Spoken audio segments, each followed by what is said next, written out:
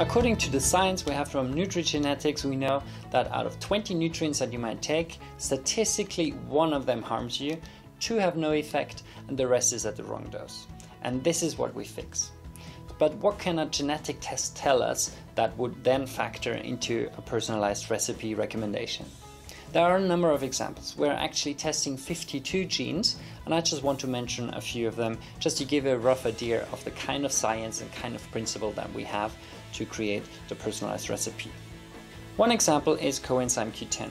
It's commonly used in supplements and cosmetics because it can actually be converted into a very strong antioxidant, protecting us from uh, substances called free radicals which attack our tissues and can actually speed up aging. This is why they put it in in uh, cosmetics and supplements and it's in fact a good idea. In fact the body even produces coenzyme Q10 itself because of its protective function. So if your genes are working fine, coenzyme Q10 is a very good way of supporting your body's protection. However, 6% of the population don't have a functional gene that is required to convert Q10 to the active form called ubiquinol. So what happens in these people, they take Q10, if they did a blood test, the levels would be perfect. However, they would not have the protection they are expecting to have. So a genetic test tells us, is your body able to convert Q10 to the active form? And should we put it into the mix because it would protect your cells? Or does Q10 actually not work in you and we need to use other antioxidants which have a similar function at a higher dose to compensate? Another example is iron.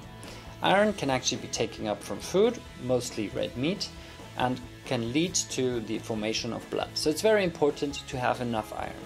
Especially young girls often have iron deficiency and they really require an adequate amount through food or supplements to cover their needs.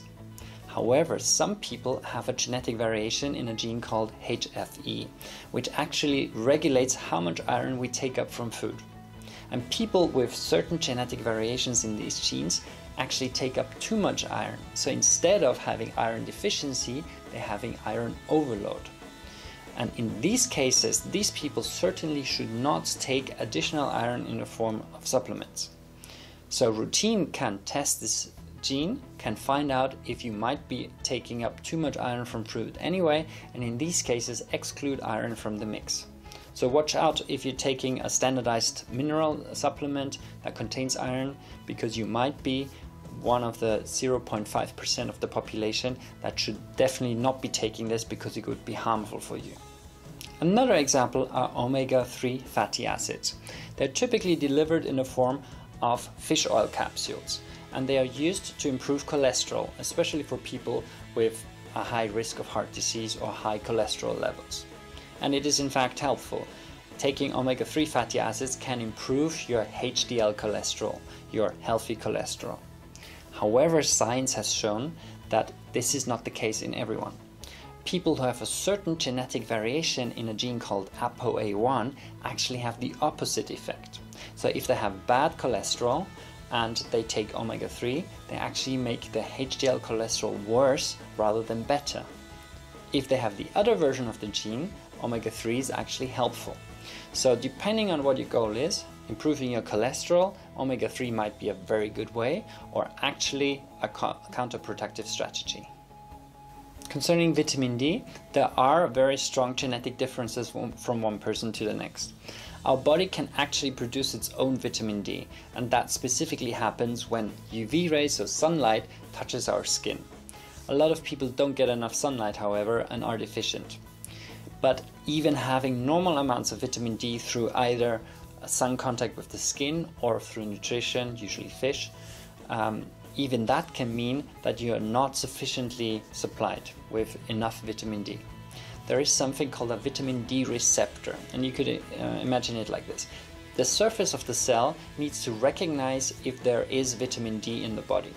And vitamin D circulates through your body, and the surface of the cell has a receptor, which is a structure kind of like this, which can recognize vitamin D and grab onto it and then see, okay, we apparently have enough vitamin D. And this receptor then initiates a healthy response, initiates certain processes in the body that initiates the healthy effect of vitamin D. So this receptor recognizes vitamin D and initiates this response. Some people have a genetic variation in the gene for this receptor, which changes the instruction. So the receptor, instead of looking like this, looks like this it can still recognize vitamin D, but a lot less efficiently. So, if enough vitamin D is circulating in the body, this might not be enough to initiate the full healthy response. But science has shown that if the vitamin D content is increased further, enough of these less efficient receptors can be activated, and then they, they initiate the actual healthy response that you would be hoping for. So, what does this mean?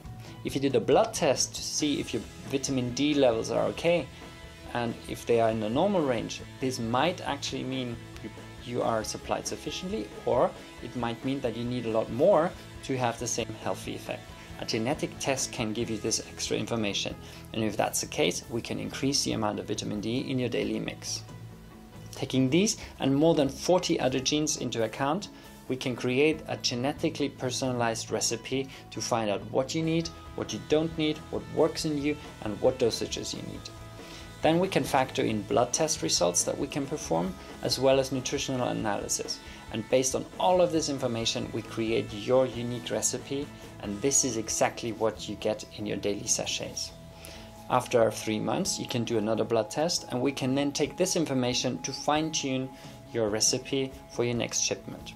This ensures that you're getting a scientifically based, personalized supplement that covers exactly what you need.